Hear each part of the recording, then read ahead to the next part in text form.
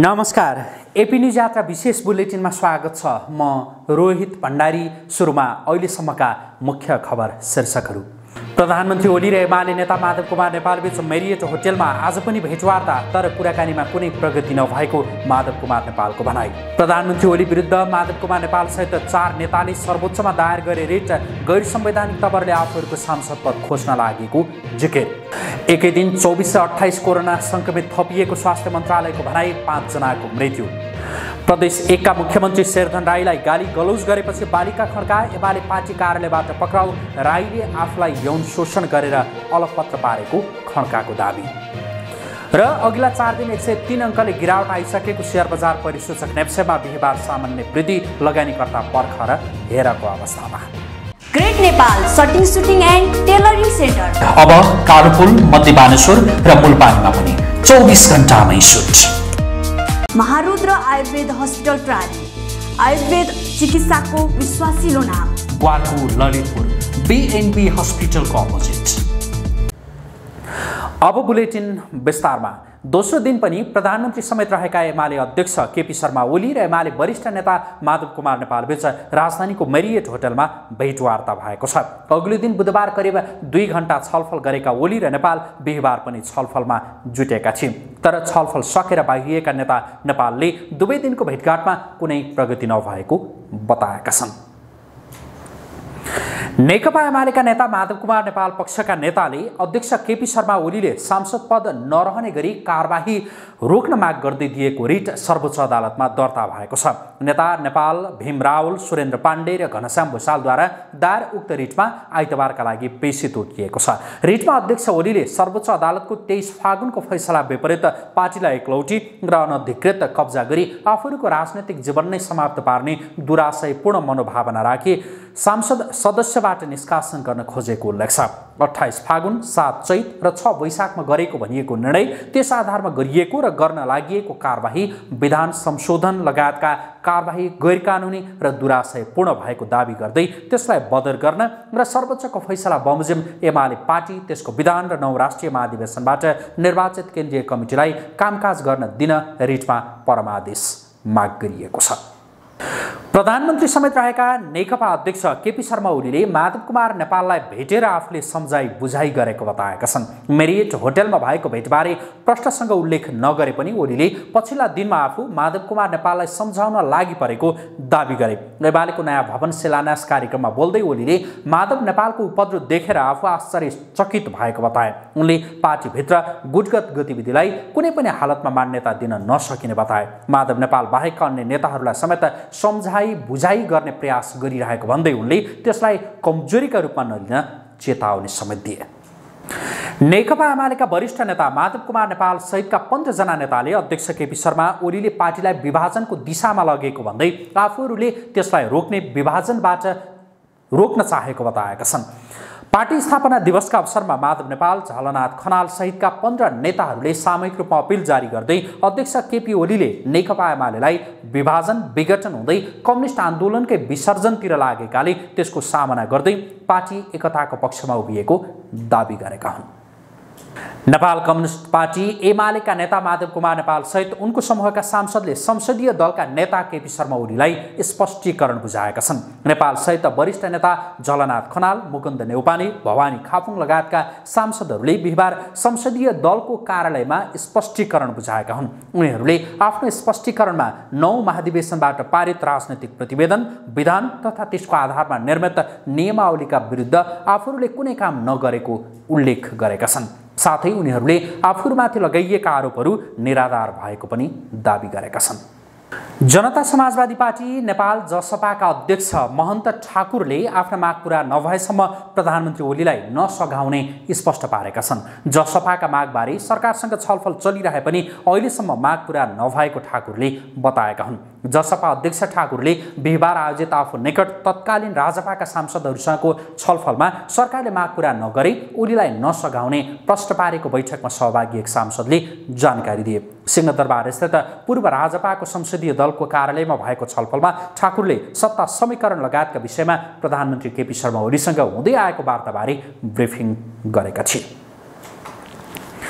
नेकपा एमालेको नुवाकोट जिल्ला कमिटी बैठक बसिरहँदा प्रहरीले बैठक स्थल छोड्न दबाब दिएको छ। एमाले भित्रको विवादका कारण लगाइएको ताला फोडेर एमालेका नुवाकोट अध्यक्ष नारायण खतिवडाको समूहले बैठक आयोजना गरेपछि प्रहरीले बैठक स्थल छोड्न दबाब दिएको हो। नेकपा एमाले नुवाकोटका अध्यक्ष नारायण खतिवडा वरिष्ठ नेता माधव नेपाल पक्षधर हुन्। पैँसठी सदस्यीय जिल्ला कमिटीमा पैँतालिसजना माधव नेपालको पक्षमा छन्। नुवाकोटमा प्रधानमन्त्री एवं पार्टी अध्यक्ष केपी शर्मा ओली समूहले समानान्तर कमिटी गठन गरेको छ। माओवादी केन्द्रका अध्यक्ष प्रचण्डले एमाले अध्यक्ष केपी शर्मा ओली विदेशी शक्तिको आडमा अघि बढेको आरोप लगाएका छन्।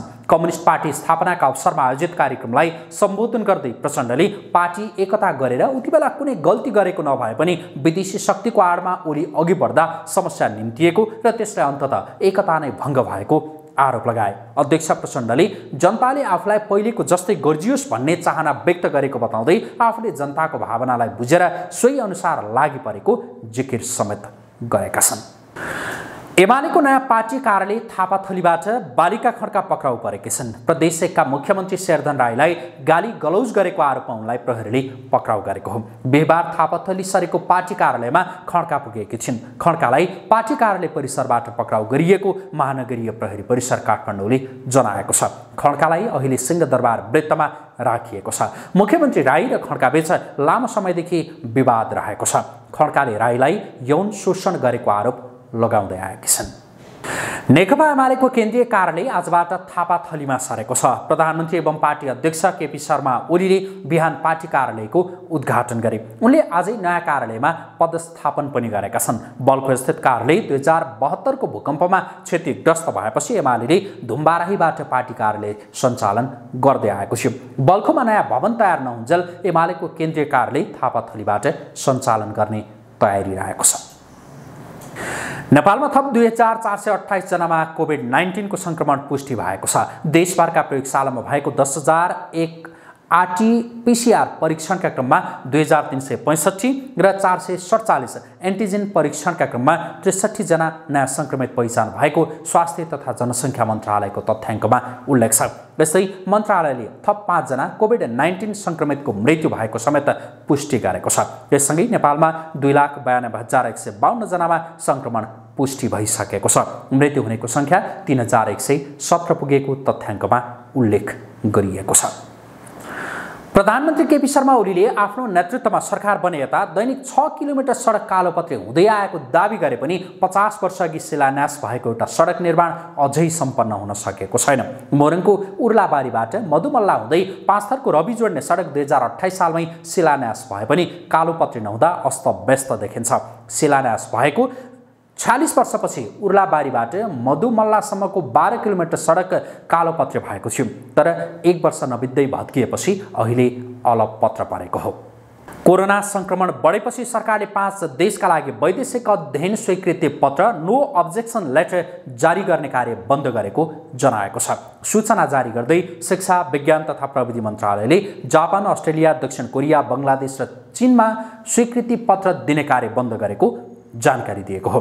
कोरोना भाइरसको नयाँ प्रकार भेरिएन्ट विश्वभरि नै फैलिरहेको हुँदा गत सोमबार बसेको मन्त्री परिषदको बैठकले गरेको निर्णयअनुसार बिहिबारदेखि अर्को सूचना जारी नभएसम्म स्वीकृति पत्र नदिइने जनाइएको छ। हावाहुरी र वर्षासँगै आएको चट्याङ लागेर आज बिहान रौतहटमा एकजना युवकको मृत्यु भएको छ। चट्याङ लागि गुजारा साथ पल्टुवा गाउँका पैँतालिस वर्षका लक्षण महराको मृत्यु भएको बताइएको छ। महरा पल्टुवाबाट हिजो साँझ आफन्तको घर बिहेमा गुजारा आठ जयराजपुर गएका थिए। आफन्तको घरबाट शौच गर्न खेततर्फ गएको बेला आज बिहान साढे छ बजे चट्याङ लागेर उनको घटनास्थलमै मृत्यु भएको नगरपालिकाको कार्यालय गुजाराले जनाएको छ।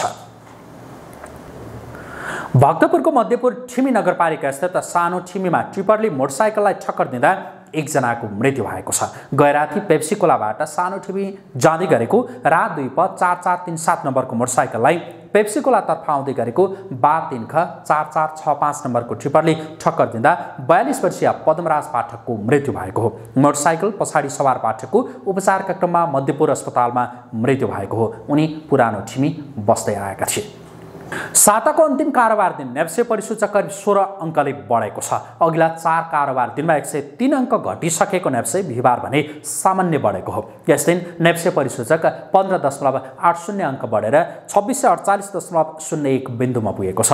नेप्सेसँगै यस दिन कारोबार रकममा पनि केही सुधार आएको छ। यस दिन दुई सय चौध कम्पनीको पचहत्तर हजार एक सय आठ पटकको कारोबारमा पाँच अर्ब एकानब्बे करोड एकाउन्न लाख उन्चालिस हजार रुपियाँ बराबरको एक करोड तिस लाख बत्तिस हजार किता सेयर खरिद बिक्री भएका छन्।